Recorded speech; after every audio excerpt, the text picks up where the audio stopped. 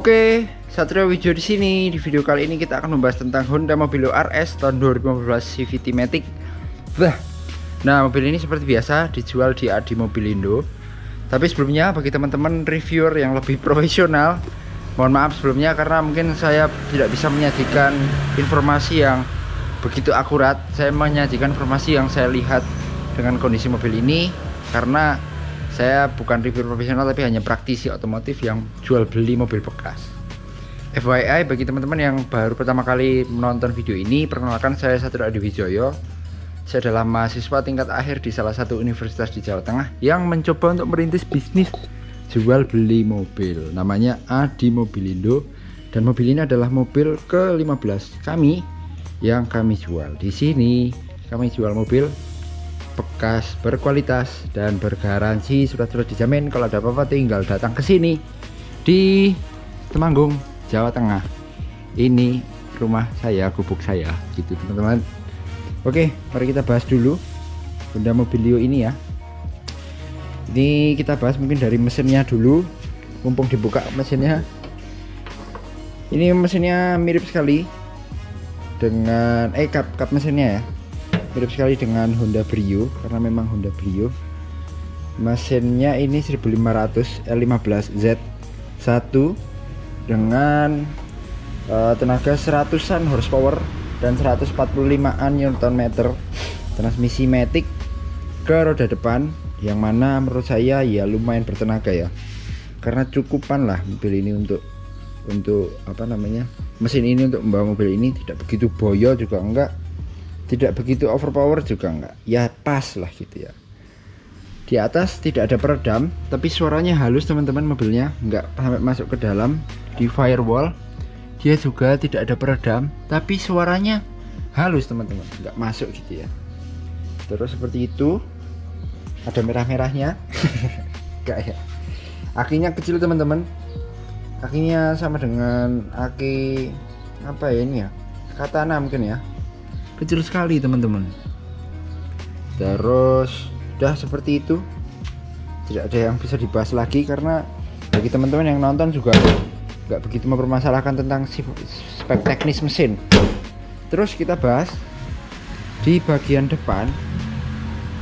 Di sini terlihat mirip juga dengan Honda Brio RS bedanya eh mirip juga dengan Honda Mobilio lainnya. Hanya ini adalah yang tipe RS jadi headlampnya dia sudah proyektor terus ada LED-LED-nya gitu. Walaupun itu bukan daytime running light tapi lampu senjanya. Bagus juga teman-teman. Grillnya chrome ada item-itemnya juga di sini. Membuat kesannya itu nggak monoton putih semua gitu tapi ada ya ada pengesannya lah wong Jawa bilang gitu ya. Di bawah ada fog lamp dengan desain bumper yang menurut saya itu bagus. Di sini ada list chrome membuat tampak lebih mewah teman-teman saya suka chrome-chrome yang mepet ke aspal itu saya suka teman-teman. Jadi lebih mewah menurut saya ya. Terus di bagian atas aduh sorry kelekean teman-teman. Di bagian atas ini terdapat kaca yang kalau kita nyetir dari dalam itu kacanya terlihat sangat landai sekali. Kacanya itu mepet ke baduk kalian ya jadi terlihatnya sporty gitu teman-teman. Kalau Swift kemarin kan kacanya tegak ya emang bahasa desainnya Swift itu tegak gitu katanya kalau ini landai yuk mas yuk ada tetangga menyapa landai dan panjang. Terus kita lihat di bagian atasnya. Di sini terhad terdapat sebuah roof rail yang ada coakannya ini ya. Ini bisa dibuka untuk dipasang roof box ya. Jadi mobil ini mungkin semi-semi wagon gitu. Jadi penumpangnya ada tujuh. Kalau diisi semuanya tujuh tujuhnya, kita bisa pasang roof box di atas untuk akomodasi lebih bagi semua penumpang. Jadi mobil ini kayak mobil-mobil Eropa yang membawa peci di atasnya seperti itu. Mungkin mereknya ada Tule ada Whale ada macam-macam ya gitu ya. Terus kita bahas di bagian sampingnya teman-teman mobil ini kalau saya lihat itu ada suatu desain yang sedikit agak nyeleneh tapi bagus teman-teman. Jadi di pintu keduanya ini tuh ada garis yang naik terus turun begini Nah kalau saya berpikir dengan ilmu cocok logi saya mobil ini kan awalnya adalah sebuah Honda Brio ya. Yang mana panjangnya itu hanya segini ini. Ini ke depan itu adalah Brio. Kemudian sama Honda karena Toyota mengeluarkan Calya Sigra dia menjadi Mobilio tetapi dengan common parts pintu dari Brio itu garisnya begini dan dari fender begini ya. Jadi dia kalau Brio itu kan lurus begini. Nah kalau di sini diterapkan di Honda Mobilio dia ini lurus sampai ke atas. Jadi sini katanya hilang teman-teman. Maka dari itu Honda menyiasati dengan garisnya dibelokkan. Jadi dia pada waktu senimannya menyeket mobil ini set kesenggol. Aduh set seperti itu. Seperti itu jadinya seperti ini. Nah dan menurut saya ini adalah sebuah garis yang luas gitu ya teman-teman yang lumayan lah. Maksudnya kaca belakang ini bentuknya jadi bagus jadi nggak simetris gitu karena saya suka yang asimetrik asimetrik. Kayak Land Rover Discovery yang baru itu saya suka bagian belakangnya karena asimetrik. Nah terus di bagian samping juga terlihat uh, desain pelek yang berbeda. Walaupun ringnya mungkin sama ya karena saya nggak lihat adanya perbedaan di sini. Besar ringnya yaitu ring 15 bahkan Brio RS itu kayaknya malah ring 16 ya jadi dia agak lebih lebar. Nah profil ban seperti ini 18565 ring 15 ini membawa keuntungan yaitu yang pertama dia lebih nyaman karena lebar tire tire wallnya ini lebih besar yang kedua profil ban dengan tire wall lebar itu lebih murah dan lebih gampang dicari dibanding yang tipis-tipis. Seperti itu teman-teman. Jadi mobil ini diuntungkan dengan lebar pelek seperti ini. Kalau desainnya menurut saya biasa-biasa aja ya ini. Tidak begitu istimewa tapi agak agak sedikit sporty karena item-item gitu. Di bawah ada side skirtnya di sini nah kebetulan unit ini side skirtnya utuh karena kebanyakan yang bawa Honda Mobilio itu dia side skirtnya biasa nabrak-nabrak ya. Karena karena kan mobil ini kan apa namanya dirancang untuk Honda Brio. Yang mana kalau dinaiki mobil ini tuh kerasanya kecil padahal aslinya besar. Nah terutama di bagian ini teman-teman. Biasanya mobil itu bumper belakangnya itu kan lebih menonjol keluar daripada bodinya. Contoh ini pickup ini. Ini bumper luarnya lebih keluar daripada bodinya. Tapi kalau Honda Mobilio ini bumper belakang itu lebih melesek daripada pintunya. Yang mana kalau ini ditabrak atau ini mundur itu biasanya yang rusak pintu belakangnya dulu. Tapi enggak dengan barang ini karena barang ini masih istimewir belum pernah tabrak belakang maupun munduri. Jadi pintu belakangnya aman. Seperti itu teman-teman. Terus kita lihat di bagian belakangnya. Oh iya ini ada spoiler yang mana besar sekali spoilernya sejengkal lebih teman-teman. Dan ini desainnya sporty sekali ya. Jadi nggak nggak norak begitu menurut saya. Terus di sini juga pilar A B C D nya ini nyambung seolah-olah dengan kaca belakang karena kacanya ini nyambung menutupi pilar D. Seperti itu di belakang ada wipernya. Terus untuk muka ada di sini. Ada kamera juga bawaan jadi bagus ya kameranya. Ngumpet begitu di sini teman-teman. Sini RS RS itu kepanjangan dari road sailing CVT ini transmisinya VTEC ini klepnya buka semuanya kalau RPM tertentu. Seperti itu. Di sini dilihat bahwa shockbreaker belakang masih berfungsi dengan baik. Tidak letoy tidak lemah. Terus di bagian trim pintu belakang dia modelnya bludru gitu ya teman-teman. Terus ada plastik-plastiknya di atas membuat mobil ini jadi lebih rapi. Terus di bagian dalam seperti biasa dari dulu saya dapat Honda Mobilio. Kenapa karpet yang bagian ini tuh pasti nggak ada? Apa? Di sini ada pintu. Eh ada pintu ada kursi. Ditarik bisa di seperti ini. Jadi luas banget. Cocok buat bawah barang-barang yang besar dan tinggi. Karena mobil ininya tinggi banget teman-teman. Beda dengan Suzuki Swift gitu ininya hanya pendek tapi ini tinggi banget. Jadi mungkin bawa sepeda lipat masih gampang masuk di belakang sini ada speaker. Speakernya di sini teman-teman. Jadi I don't know mungkin di bagian pintu sini tuh ada speakernya nggak ya? Oh nggak ada. Jadi di sini tuh nggak ada speakernya tapi speakernya dipindah. Disokin. Jadi seperti itu. Di baris paling belakang juga ada apa namanya ini?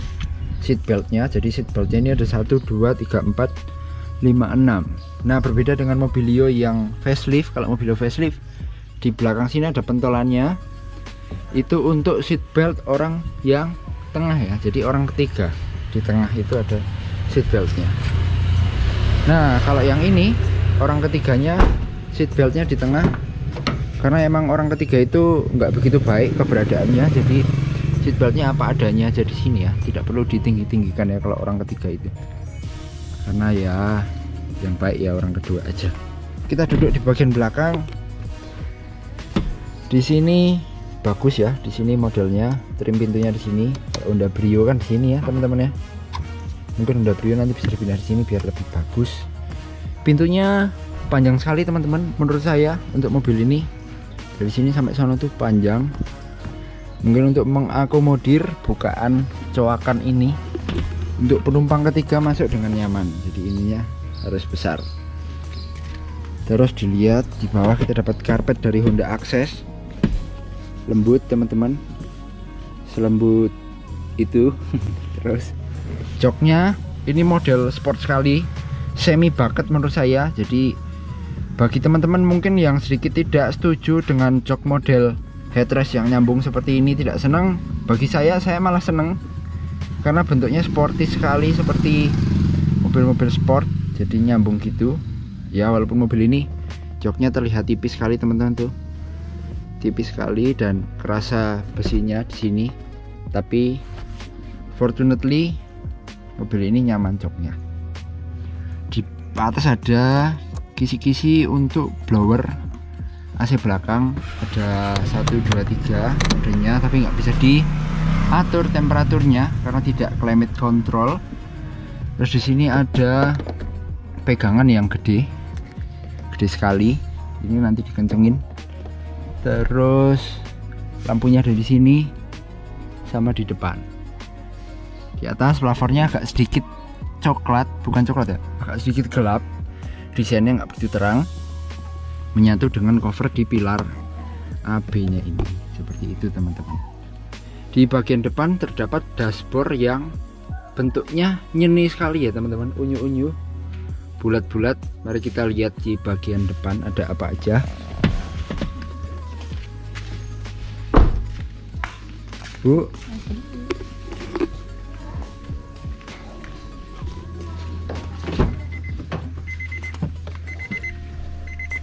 Oke, kita di bagian depan teman-teman. Di sini kita lihat setirnya tidak kulit, tapi materialnya empuk. Kalau dipegang squishy begitu. Di bagian spoke sebelah kiri terdapat audio steering switch untuk mengganti mode, mengganti channel. Tapi agak sedikit panas, maka kita starter aja mobilnya. Mobil ini 66 km odonya kemudian karena dia matic di sini ada PRNDSL terus di sini ini untuk indikator transmisi maticnya. Di sini ada kilometernya 66.755 ongoing buat saya beli soto. Terus multi information displaynya ada trip ada konsumsi bahan bakar rata-rata. Udah gitu aja tidak ada live dan tidak ada temperatur luar di sini odometernya sampai 180 km per jam aja. Ya karena mobil ini paling makanya cuma 100 terus ada uh, eh, RPM nya oh iya biasanya kalau Honda itu safety nya oh enggak ya. Jadi kalau kalau mobil ini tuh walaupun dia P dia bisa digeber RPM nya berbeda dengan Honda. Oh enggak ding. Tetap aja. Jadi kalau Honda apa namanya Honda Matic itu ternyata ketika dia di P di RPM nya nahan di RPM 4000 aja. Seperti itu teman-teman. Jadi itu mungkin fitur safety. Beralih ke bagian samping sini ada kisi-kisi AC yang lucu sekali putar-putarannya sini bentuknya bola begitu kayak biobol buat kolam ikan koi. Nah ini bisa ditutup begini bisa dibuka. Terus diarahkannya juga diputar-putar lucu banget kayak kamu mbak mbak E. Terus di sini ada Twitter di pilar A. Yang ini Twitternya menyatu desainnya. Karena Twitter ini desainnya agak sedikit menyatu ketika dia pakai dashboard Honda Brio yang yang baru yang mobilio yang baru gitu yang tinggi ya. Seperti itu. Ini membulat-membulat begini banyak kontur-kontur di sana. Materialnya keras tapi bagus terus di sini ada tombol hazardnya di sini. Di bawah ada tombol AC ada tombol untuk apa ini namanya? Fog lamp. Jadi kalau dinyalakan dia ini untuk fog lampnya. Ini untuk AC nya ini untuk sirkulasi udara luar maupun dalam. Dan di atas AC ini ada illumination lightnya. Ini untuk menerangi bagian bawah sini ketika malam. Jadi ada sedikit manis-manisnya begitu. Terus di bagian samping terdapat kisi-kisi AC juga yang ada chrome di sini. Sudah airbag kanan kiri di setir dan di dashboard. Di sini ada uh, laci penyimpanan glove box. Yang bentuknya unik sekali nyeni begitu kurvi-kurvi mungkin pakai rumus persamaan matematika hiperbola parabola hiperbolik untuk membuatnya ya insinyurnya di bawah ada power outlet 12 volt 180 watt maksimalnya. Ada dua buah cup holder sini jadi cup holder di depan ada empat. Di belakang ada satu dua oh di belakang cup holdernya besar sekali ternyata teman-teman. Seperti itu.